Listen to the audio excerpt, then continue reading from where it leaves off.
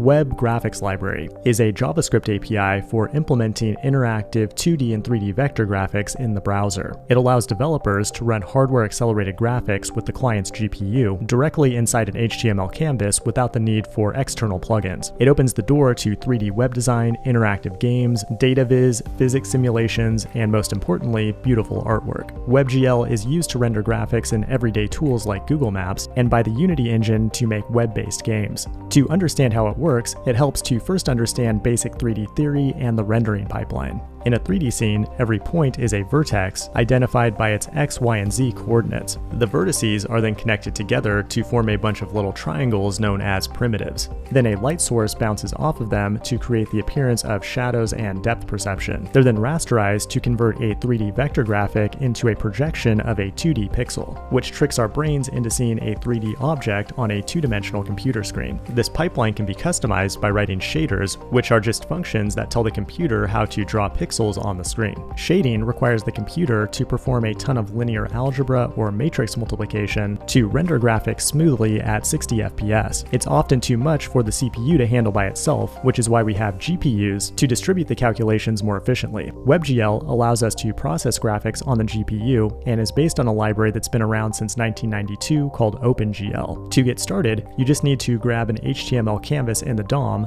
then get its WebGL context to start drawing. The main program code code is written in JavaScript, but shaders are written in the OpenGL ES shading language. A shader will take information about a vertex or fragment and use the GPU to calculate the data required to render it as a pixel on the screen. Luckily, you don't need to write shaders by hand to start adding 3D graphics to your website. You can use libraries like Three.js or tools like Spline to quickly design 3D experiences without much underlying knowledge of WebGL. Stay tuned for a full Three.js tutorial. Make sure to hit the like button. Thanks for watching, and I will see you in the next one.